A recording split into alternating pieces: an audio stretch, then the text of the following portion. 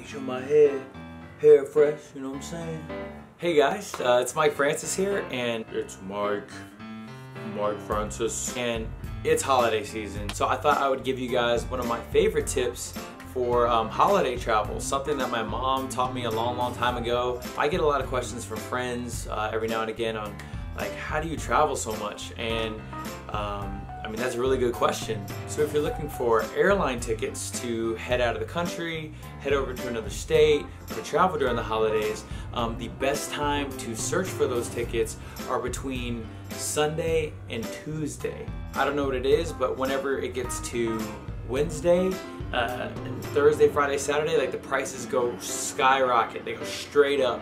And one tip I give you is just check uh, airline flights between Sunday and Tuesday, preferably Monday night into Tuesday, um, and for the best deals. Um, that's how I get around so well and, and for a really reasonable price and I really hope that that helps you too. So yeah, but I'd like to know um, what other travel tips do you have headed into the holidays? Leave those in the comments uh, below. Please subscribe.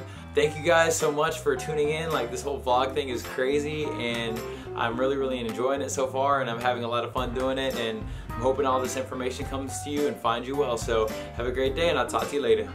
Peace.